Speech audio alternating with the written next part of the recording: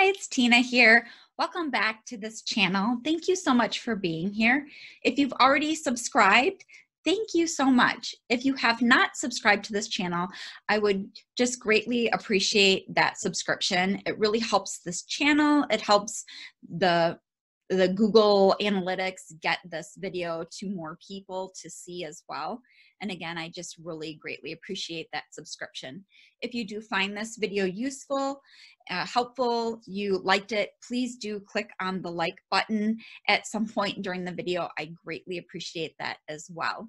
This particular video here is going to be an update of grants that I have applied for grants that I have just now come across that are new to me posting on this channel, as well as some of the other grants I've already covered, but are still available for you to apply for.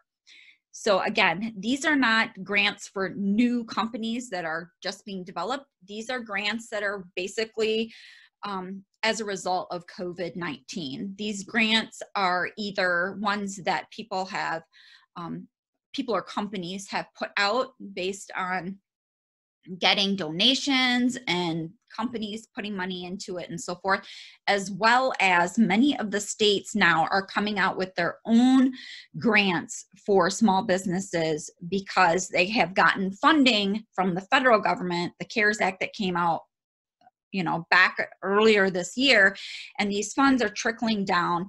It's it's been at the federal level and they've um, they've given monies to the states and the states now are distributing those funds through grants. So again i'm seeing a lot more um, money coming through the states now as well. There's a few tips that i want to talk about real quick as well. So if you're applying for these grants please make sure that one, you're very careful who is helping you. I'm seeing this a lot where they're saying, oh, this guy helped me, and here's his number, or here's his Instagram handle, all these things. And please, please, please be so careful who you're sharing your financial information with. Make sure that the website looks legit and that you are not just um, trusting anyone to um, handle your um, application and your financial information. You want to make sure that you are the one filling out these grant applications and that you are handling your own financial documents. Um, it's so unfortunate, but I just want everyone to be safe and not to get ripped off by these scammers. So, number one is if people are just saying, saying, give me your email and I'll hook you up with some guy who can get you this grant. Please, please, please be so careful with that. Next is um, be aware that the most of the grants I'm seeing that you get awarded, they are likely going to make your name public or your business name public. So just be aware and comfortable with that, that likely you're going to be on some list. You're probably going to be on their website somewhere um, publicly um, available that you, uh, you had received that grant. Next is to make sure that you are keeping track of all of the documents, um, keeping track of all of the monies that you were given and where those monies went. Because again, once you receive these grants, oftentimes, if not always, they're going to want to see where you spent the money. So you're going to want to keep a good um, track of that so that when the time comes that you um, have that information readily available to give them those documents. Okay, so let's dive in real quick here and um, look at what's going on. So I've been keeping a list, um, a rolling list of the grants that I've been looking into, and all of this will be in the um, description box below this video so that you can easily pop into all of these links and and see these sites so you don't have to be trying to you know look at these tiny little urls and all that stuff. It'll be in the description below so that you can um, easily click on these links and get to them um, as i just said about being careful um, if if you are uncomfortable with clicking on these links that's fine. It's always good to be careful. Um, i'm going to tell you the names of the grants so then you can also if you'd like to do your own search with the name then you can obviously then find the links that way as well. So the first one is the EIDL SBA grant, and most people have already heard about this. It came out early this year, and um, for many people, it was a quick um, apply and get the cash, apply and get the grant, um, apply and get the loans, whatever. But for many of us, especially I think some of us sole proprietors, we ended up in the bucket of unverifiable information denial. And so after I got that, I did send in a ton of documents, including a 4506T form. However, I had recently then got an email from them stating I didn't send in the right version of the form, which, okay, whatever. So, this link that I'm sharing is the version of the form that they actually sent me. And it looks like this.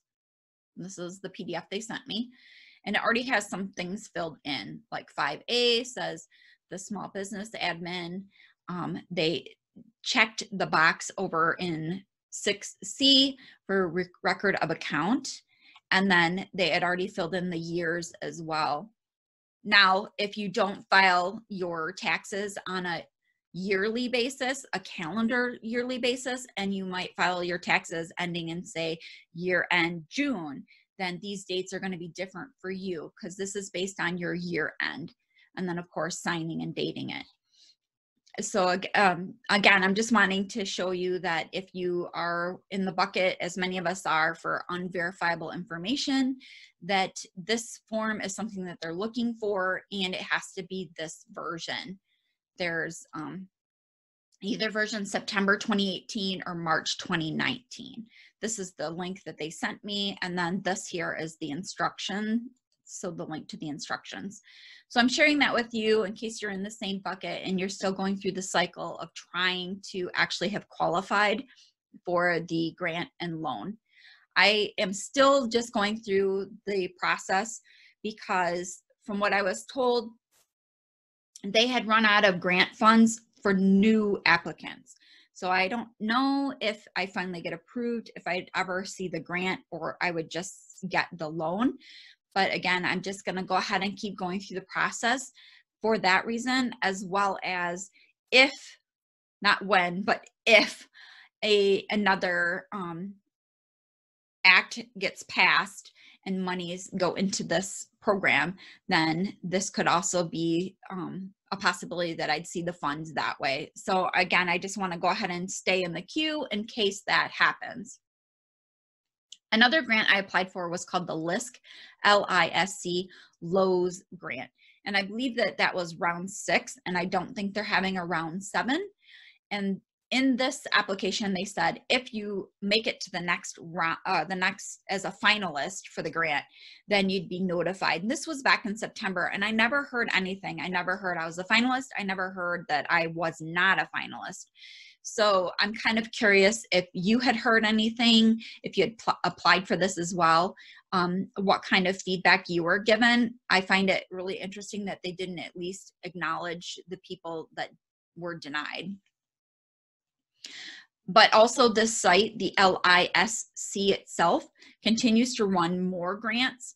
And so it's always, or it's a good suggestion of mine to get on their mailing list because they will let you know when more grants become available.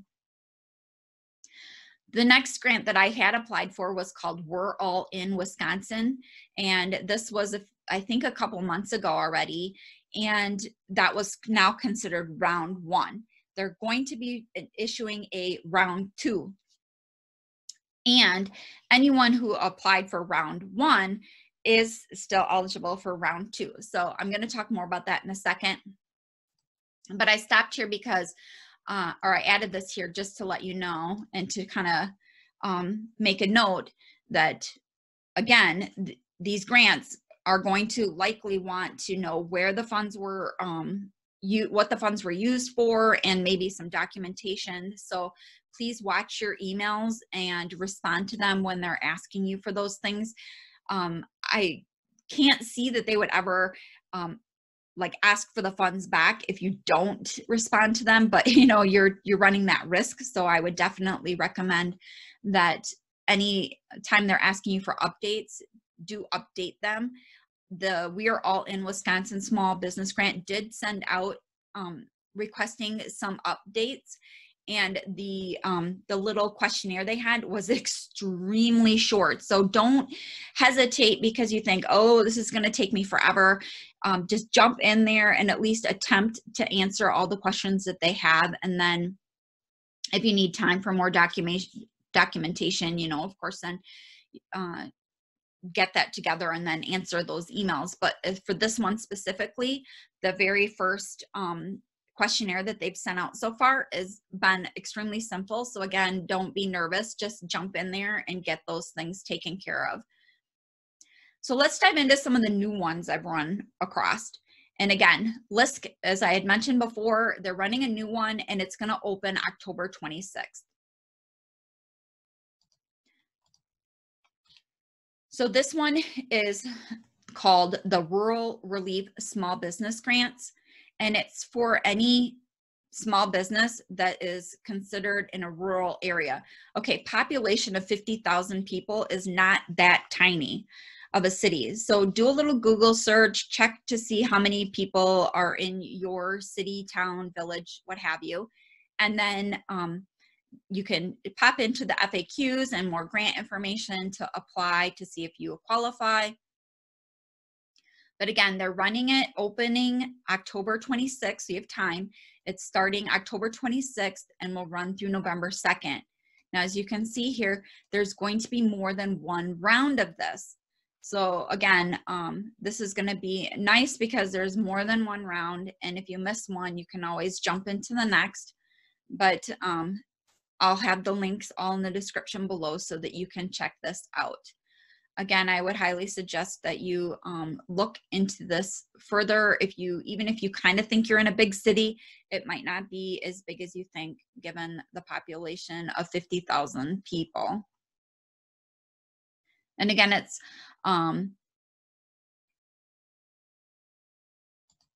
they'll tell you a little bit more like if it's mobile it's it's the address that you're that you're storing the vehicle or it's probably the address that you consider to be your like home base or something like that.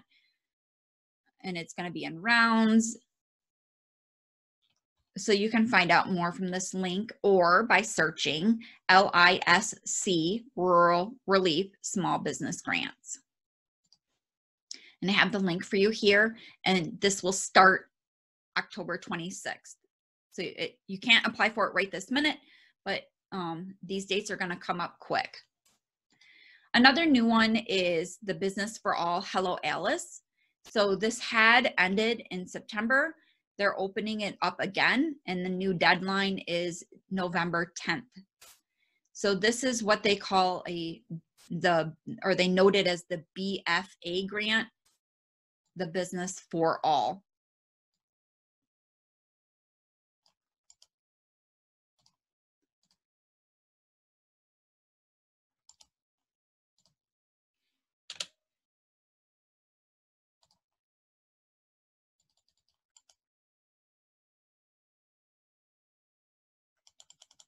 Okay, and I'm having an issue getting to this link.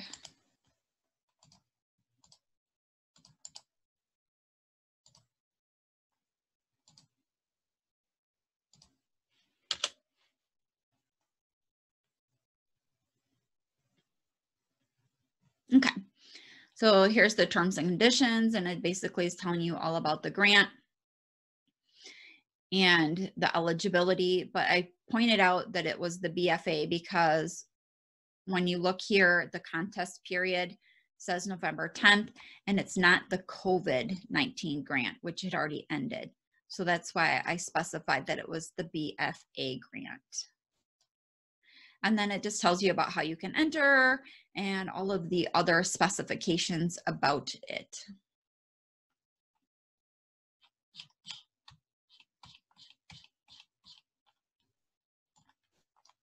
And of course, there's the button for apply for a grant.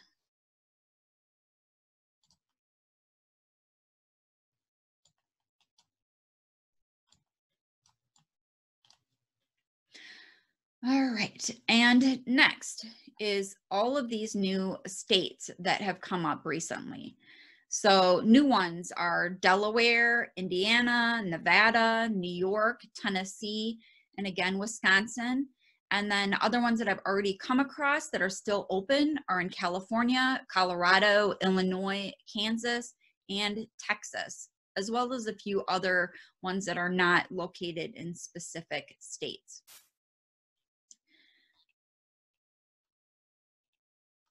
So for the Delaware one, you can search DE relief grants. Round one is done. Round two is now open. There is no end date given. It just says when the money runs out, that's when they're closing it out. So if you're in Delaware, I would recommend that you apply for this as fast as possible because you just don't know when the money is going to run out. So this is what the site looks like. And again, you can just search um, the Delaware um, DE relief grants. The URL I have is business.delaware.gov backslash relief. The next one is Back on Track Indiana Small Business Restart Fund. So again, Back on Track Indiana Small Business Restart Fund.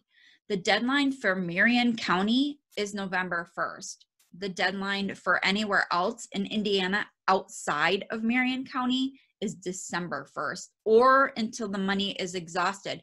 So again, these could end sooner if they have a ton of applications come through and they qualify and they the, the funds go out it, the deadlines could end sooner or it could actually run later if they still don't have all those funds um, given out uh, have enough uh, company or businesses that have applied. So again, this, this link will give you the um, more details about the grant itself. Grants will be issued up to $10,000 per company and issued in the order in which applications are received until the funding is exhausted. So you must be registered in Indiana. You must have less than 50 employees as of the end of last year, had less than 5 million in revenue, been profitable last year, and businesses must demonstrate a monthly revenue loss of at least 40% compared to pre-COVID.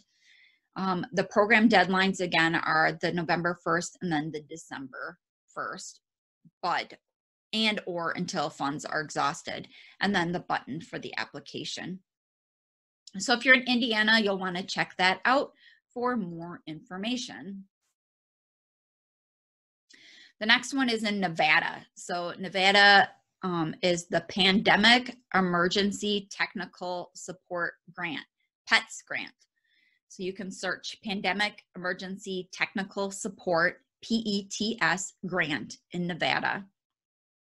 This one opens in a couple of days, October 19th, and it'll close out November 2nd.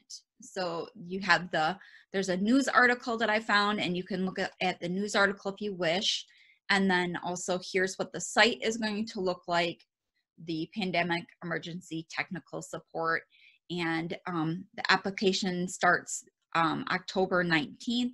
And so then once it opens, then there'll be a button to where you can apply. There's also some video tutorials, so you could watch that in advance just so that you kind of get an idea of what you're going to need when you apply. Now, I also have another link for Nevada, and this, I believe, is just a more um, general link that will give you any of the grants that are available. So there's an Actors Fund, a Gen Youth, uh, federal grants that are available and just a plethora of information and other grants that you might find useful. So Henderson Recovery Grant, round two opens the 10th, it's ongoing, local opportunities. So there's just a plethora of other ones that you might be interested in, again, if you're in Nevada. New York grant information.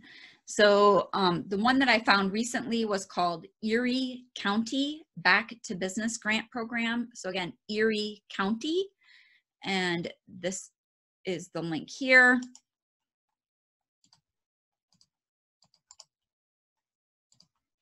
And so the site looks like this. Erie County Back to Business Grant Program. And you can apply now and you can read all of this extra information to see if you would be eligible for that grant. And then see the full grant program terms. You can click on that.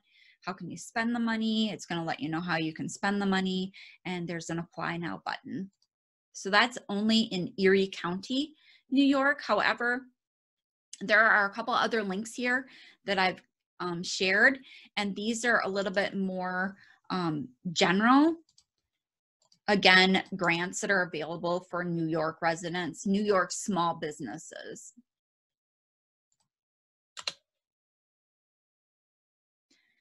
So you've got the economic recovery and COVID-19 loans for small businesses. And so these are um, some loan funds. They talk about the SBA, PPP, and all that good stuff. So it's just a good reference if you're looking for assistance in New York. And then there's also this link here. Again, the Empire State Development website guidance and information for New Yorkers, businesses related to COVID and they've got some guidance here and some economic recovery and COVID loans and assistance, uh, just some other information that you might find useful. But again, this other one here is the Erie County um, grant information. Next state is Tennessee.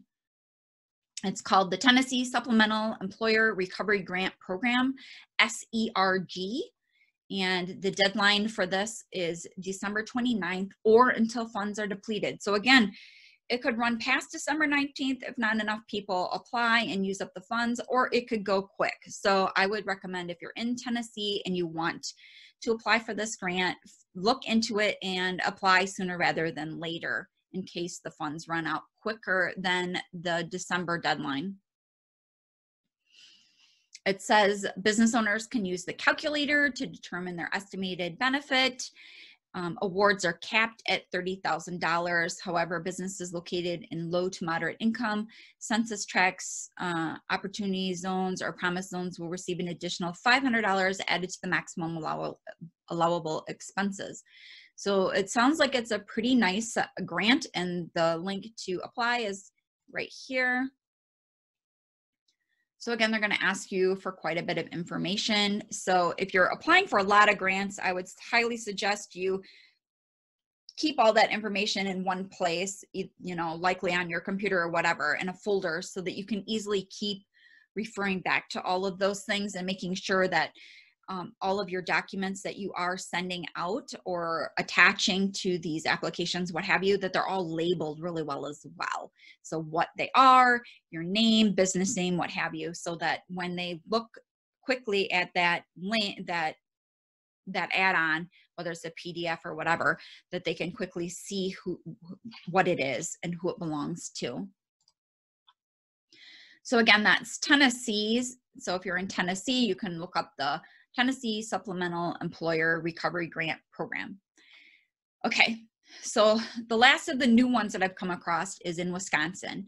It's the We're All In Wisconsin Small Business Grant, and this is going to be round two, and it's going to open up Monday on the 19th.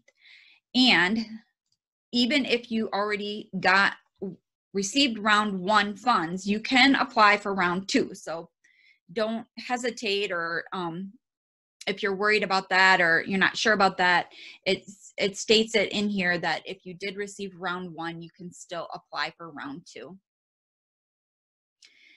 And again, I'm trying to see if there's anything very pertinent that I should point out other than it ends November 2nd and it says um, it is not on a first come first serve. So they are reviewing the, the applications as they come in and they and then uh, as uh, sorry i'm trying to hurry as fast as i can because some people don't like that these videos are taking a long time but this is a lot of information to go through so i'm trying to keep it brief but i'm also trying to give you as much detail as possible. Businesses that received funds under the first round of We're All In, as well as the Ethnic Minority Emergency Grant, are also eligible for the second round. So, again, you can apply again. Priority will be given to businesses that have not previously received the funds. And um, they also give um, preferences to ethnically diverse ownership and those hardest hit. So, a lot of these grants are like that. They're for small businesses and they are um, taking into account if you're woman owned, minority owned, and just other things like that. They're taking those also into account in many of the grants um, as far as who gets picked first to get the to be a recipient.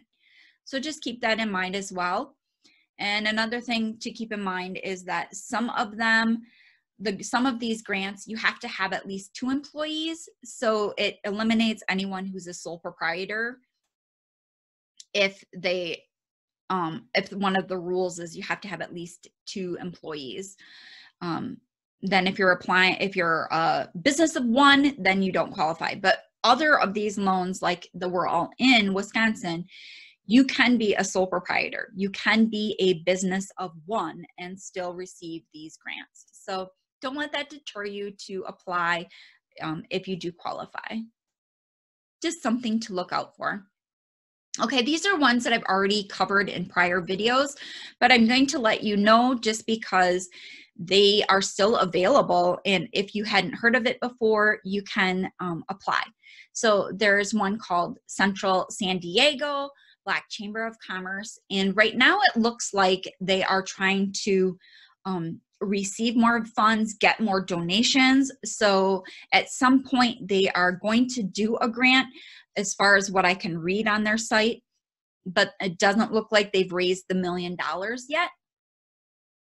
Again, this would be something I would just go ahead and if you're in that area and you're looking for grants, to keep an eye on this because at some point it looks like they're going to do a grant, offer grants and so this would be a great one to keep an eye on for. Again, it looks like they're um, attempting to raise a million dollars and then do the grant. Central San Diego Black Chamber of Commerce. Okay, and there's a news article here if you'd like to read it. You can also email them. Um, so that's some great information there. The next one is the state of Colorado. It's called Energize Colorado Gap Fund grant and loan opportunity. So there's a grant that's up to 15,000 and then a loan up to $20,000. Round 1 has closed, but round 2 opened October 5th and the deadline is October 26th. So you still have time to apply for this GAP fund. And again, if you don't want to click on the links I have, I understand. Just search Colorado Energize Colorado Gap Fund. Round two applications are open until the 26th, and here's the big button to apply now. And of course, they have tons of other information so that you can find out whether or not you qualify to apply. Illinois, COVID grants. There's an article here that you can read. And then as well as here is the application. Now it says that it's on a rolling basis. So here we go again. There's no deadline per se. They're just going to keep pumping out these funds until they run out of money. So if you're in Illinois and you want to apply for this, I would do it sooner rather than later. Business Interruption Grants Program, BIG. And they have applications in English and Spanish.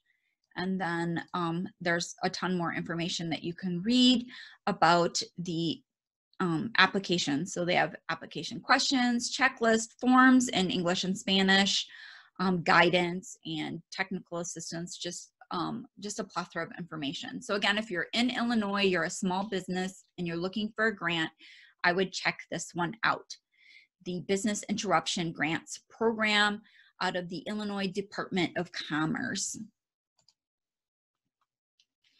Next is Kansas, Topeka, Kansas. And again, I've got an article here you could read if you'd like.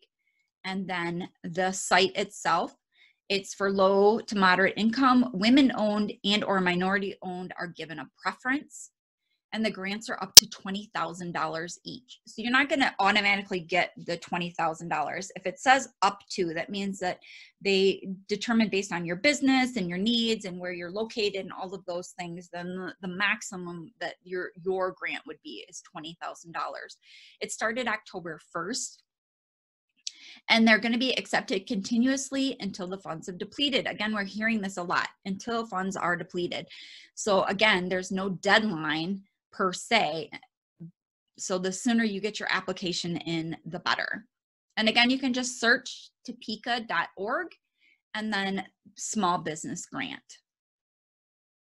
So like I had talked about a business of one, employed between one and 25 persons. So employed one person is if you are a sole proprietor, you employ yourself, that's it. So that's one of the things that I would highly suggest you look at if you are a sole proprietor. You may not uh, qualify for some grants if it says two or more. But uh, as you see, this one says 1 to 25. So then um, grant funds can be put towards the following expenses, and they give you a list of types of things that you can spend the money on and the application. So you can see then there's your button to apply. And I'm sure that they have uh, much, much more information if you want to read through it in the FAQ. So again, this is for Topeka. And this is the grant program that they're running in Topeka, Kansas. Okay, so Texas is the last state on my list right now. And there is a, um, the various Texas locations for the LIFT Fund. So again, you can search Texas LIFT Fund, L-I-F-T and they have a website here that just goes into a plethora of things. And some of these have already ended. Some of these come into um, second and third rounds.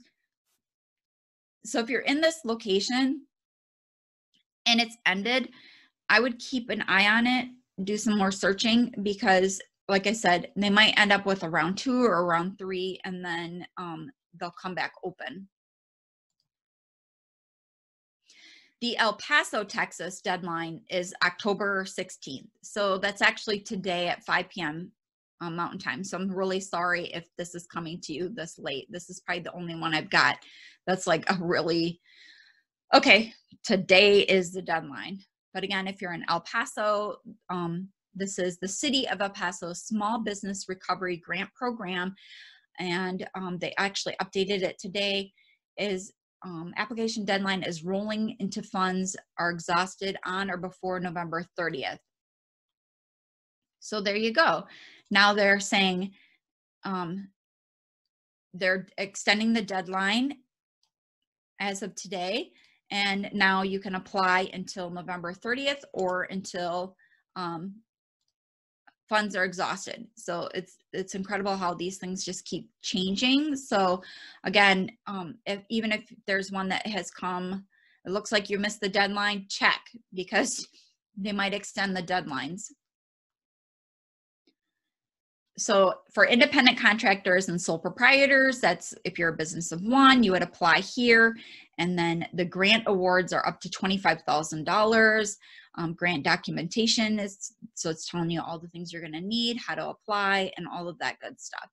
And so there's a nice long checklist. And again, it said up here, if you're a, a sole proprietor to apply at this little tab here, as opposed to down here, this button here. So just pay attention to that. But I'm gonna add this little snippet of information here.